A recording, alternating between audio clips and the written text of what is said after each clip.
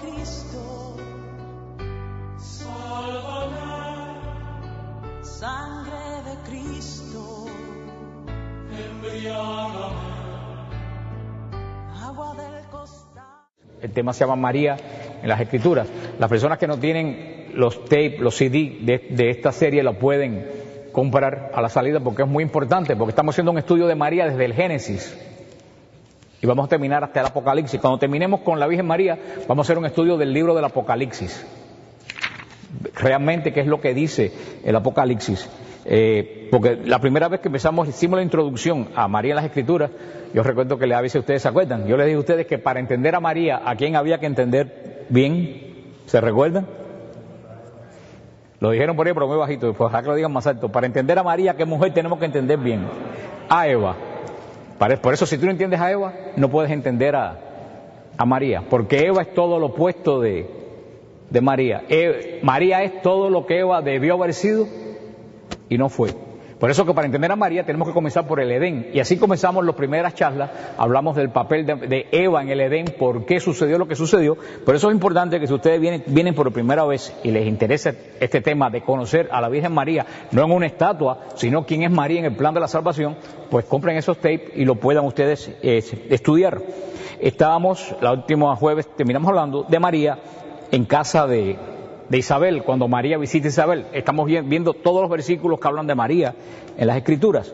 ¿Se recuerdan que dijimos, y todos ustedes lo saben por el nombre de María, que cuando Isabel ve a María, ¿de qué se llena Isabel? Del Espíritu Santo. Eso, gracias a Dios, todo el mundo lo, lo sabe. Pero fíjate qué curioso, Isabel se llena del Espíritu Santo no porque sienta a Jesús, ni porque ve a Jesús. Isabel se llena del Espíritu Santo porque oye ¿La voz de quién? De María.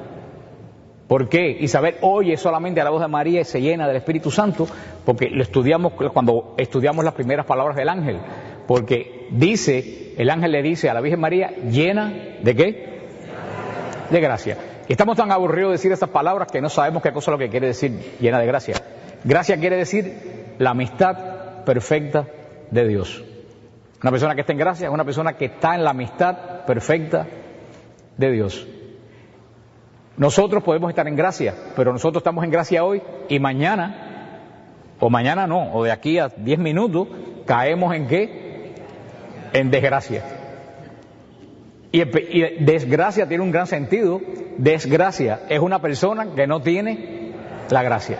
Verá como decimos palabras que nosotros no sabemos lo que estamos repitiendo. El que esté en desgracia es una persona que no tiene la amistad de Dios. María no solo, eh, no solo tiene gracia, dice el ángel que está llena de gracia. Vamos a estudiar, cuando lleguemos a la parte que hablemos apologética, vamos a estudiar la palabra que caritomene, que es la palabra griega que el ángel le dice a María, que es un verbo que no existe en español. Pero que quiere decir una persona que está lleno, quiere decir que está, como cuando ustedes cogen un vaso y está hasta el tope del vaso. Si usted ahora yo cogiera un vaso lleno, pero hasta el mismo ras del vaso, y me pongo a caminar por aquí, ¿qué pasa con el agua que está en el vaso? Se desborda, ¿no? Cuando algo está lleno, se desborda. María está llena del Espíritu Santo y ¿qué hace María? Se desborda de Espíritu Santo. Por eso cuando Isabel la oye, se llena ella misma de Espíritu Santo. Y hay una cosa en Biblia, la Biblia que se llama garantía de inerrancia, que quiere decir que cuando alguien está poseído por el Espíritu Santo, todo lo que esa persona dice, quien lo dice es el Espíritu Santo. O sea que cuando Isabel se llena del Espíritu Santo, ¿qué le dice el Espíritu Santo a María? Bendita tú entre todas las mujeres. Qué favor, dice Isabel, que la madre de mi Señor venga a visitarme. Si ustedes ven, Isabel es una mujer importante. Isabel es descendiente de Aarón, así lo dice el Evangelio, nada más y nada menos que descendiente del hermano de Moisés. Isabel es la esposa de, de quién? De Zacarías, uno de los 24 sacerdotes que ministran el incienso delante del Señor en el templo de Jerusalén.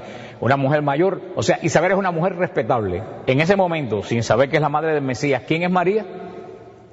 Una parienta pobre que vive en un pueblecito que nadie lo conoce. Nazaret no estaba en el mapa ni se menciona en la Biblia. Nazaret vivían 14 o 15 personas. O sea que María es una muchacha joven, 13 o 14 años, una parienta pobre, porque si fuera de cierta posición no viviera en, en Nazaret y para como de un lugar no lejano y desconocido.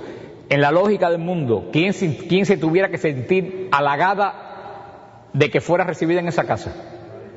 María debía ser la que dijera que, que, cuánto honor que Isabel me recibe a mí. Isabel es la mujer importante, la mujer mayor, la mujer respetable que recibe una parienta pobre de un pueblo lejano. Sin embargo, esta mujer respetable que se conoce muy bien la Biblia, ¿qué es lo que dice? Bendita tú entre todas las mujeres.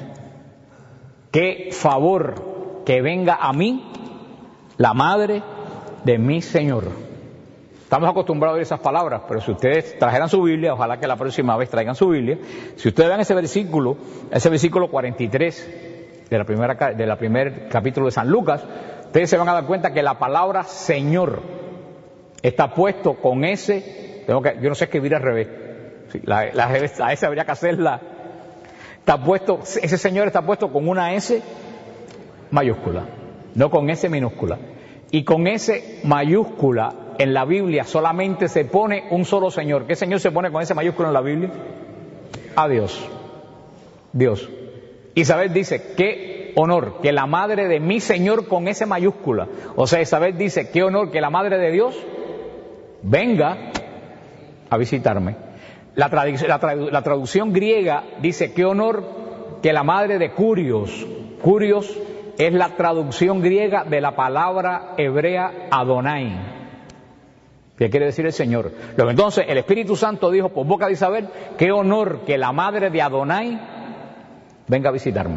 O sea que quien primero proclama a María, madre de Dios, es el Espíritu Santo por boca de Isabel. Algunos hermanos de otras iglesias dicen, María no es la madre de Dios, María es la madre de Jesús. Digo yo, aquí hay un, yo creo que hay un problema de, de semántica. Sí, María es la madre de Jesús, pero ¿quién es Jesús? Dios. Y si María es la madre de Jesús, y si Jesús es Dios, o yo soy muy bruto, o quién es María? La madre de Dios. Imagínate que digan a Bárbara Bush, ahora le digan, no, eh, Bárbara Bush es la madre del presidente. Digan, no, no, yo no soy la madre del presidente, yo soy la madre de Jorge Bush. ¿Tiene sentido eso? La madre de George Bush, pero ¿quién es George Bush? El presidente, entonces es propio no llamar la Bárbara Bush la madre del presidente. Entonces, el problema es que estos pobres hermanos de otras iglesias no tienen, mucho entendederas a la hora de que le dan malas noticias acerca de la iglesia. Dicen, no, no, María es la madre de, de Jesús, no es la madre de Dios. Pero querido hermano, si Jesús es Dios, podemos decir con razón que María es la madre de Dios. ¿Y quién es quien por primera vez proclama a María madre de Dios? El Espíritu Santo por boca de Isabel, cuando dice, qué honor que la madre de Adonai venga a mí, venga a mi casa, venga a visitarme. Estuvimos hablando también, si lo recuerdo, esas palabras, bendita tú entre todas las mujeres. En el libro de jueces, capítulo 5, versículo 24, se encuentra el cántico de la profetisa Débora.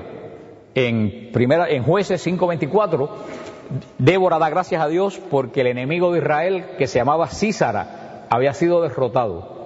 ¿Cómo fue derrotado Císara? Císara era un general eh, eh, cananeo que perseguía a Israel, era el terror de Israel. Lucharon muy cerca del monte Tabor y Císara perdió, pero estaba vivo. Císara, huyendo, entró en casa de esta doña que se llamaba Yael.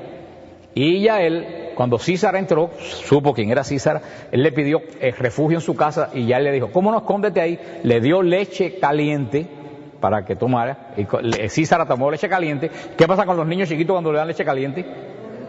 Se duermen. Pues Císara tomó su leche caliente y se durmió.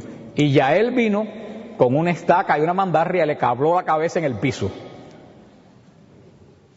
Sencilla la, la doña. Con una mandarria y una estaca le clavó la cabeza al enemigo de Israel contra el piso. Y derrotó para siempre a los enemigos de Israel. Entonces, la profetisa Débora, cuando hace el cántico de Débora, dice, bendita tú eres Yael entre las mujeres que habitan las tiendas, porque derrotaste al enemigo de Israel. ¿A qué le suena a ustedes eso? Bendita tú entre Yael entre las mujeres que habitan